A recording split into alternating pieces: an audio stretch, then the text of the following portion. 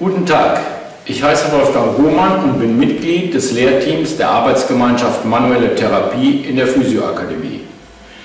Ich möchte euch hier die Maßnahmen vorstellen, die vor einer manuellen Untersuchung und gegebenenfalls Behandlung der Kopfgelenksregion erforderlich sind und wie sie in unseren Zertifikatskursen gelehrt werden.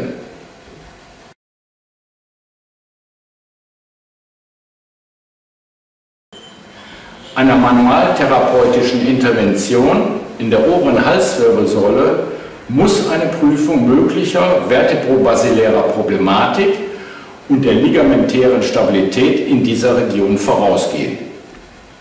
Wir verwenden dafür den sogenannten Arteria vertebralis Test zur Prüfung des vertebrobasilären Kreislaufs, den Stabilitätstest für das Ligamentum transversum atlantis und den Stabilitätstest für die Ligamenta alaria. Nachfolgend aufgeführter Algorithmus hat sich zur Prüfung des vertebrobasilären Kreislaufs in der Praxis bewährt.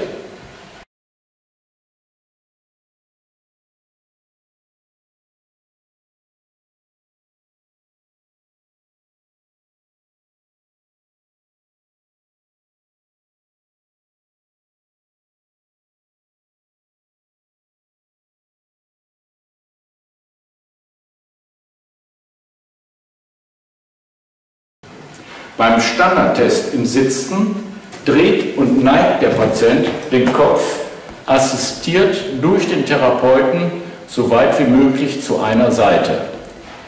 Diese Position wird mindestens 10 Sekunden gehalten. Nach einer Pause in Mittelstellung der Halswirbelsäule von ebenfalls 10 Sekunden wird die andere Seite in gleicher Weise getestet.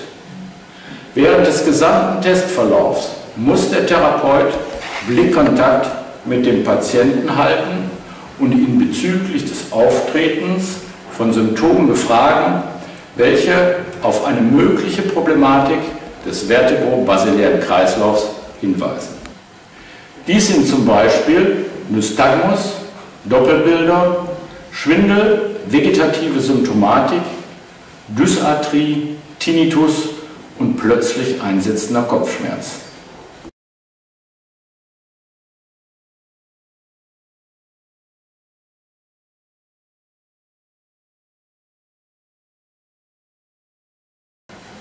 Aufgrund der biomechanischen Gegebenheiten ist vor der Beurteilung der Kopfgelenke eine Prüfung der Funktion des Segmentes C2 erforderlich.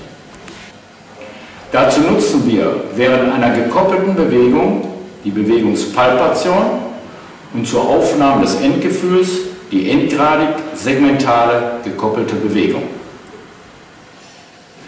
Wir suchen den Dornfortsatz von C2 und platzieren dann unseren Palpationsfinger interarkual zwischen C2 und C3 im Bereich des Facettengelenkes und führen eine gekoppelte Bewegung in Seitneigung mit gleichsinniger Rotation durch.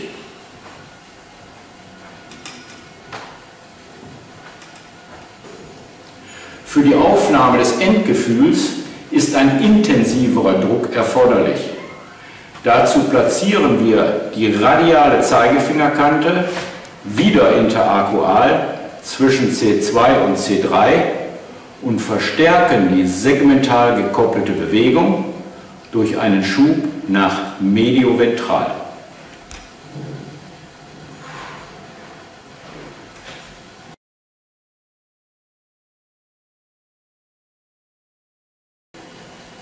Die freie Beweglichkeit des zweiten Halswirbels auf seinem kaudalen Partner C3 ist Voraussetzung, damit eine Seitneigung im Segment C0 überhaupt möglich ist.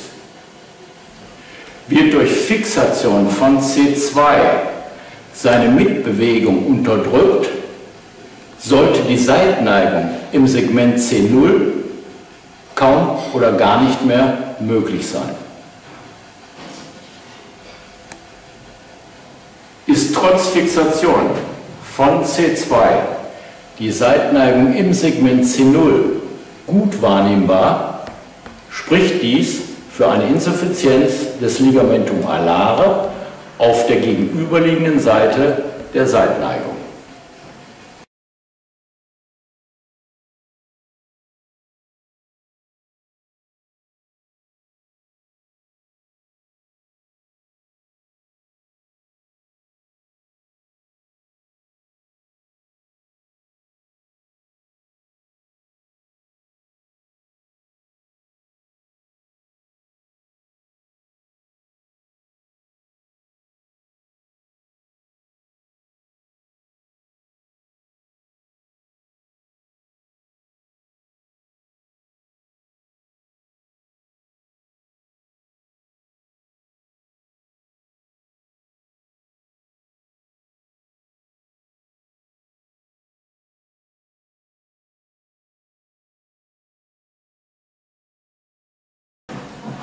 Durch eine Insuffizienz des Ligamentum transversum atlantis kann der Atlas bei Flexion der Halswirbelsäule auf C2 vermehrt nach ventral gleiten. Dadurch vergrößert sich die atlantodentale Distanz, was zur Einengung des Spinalkanals führt und das Rückenmark komprimieren kann.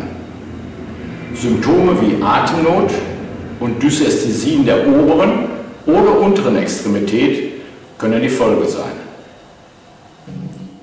Wir überprüfen die Stabilität des Ligamentum transversum atlantis bei flektierter oberer Halswirbelsäule durch einen Schub am Dorn C2 nach ventral.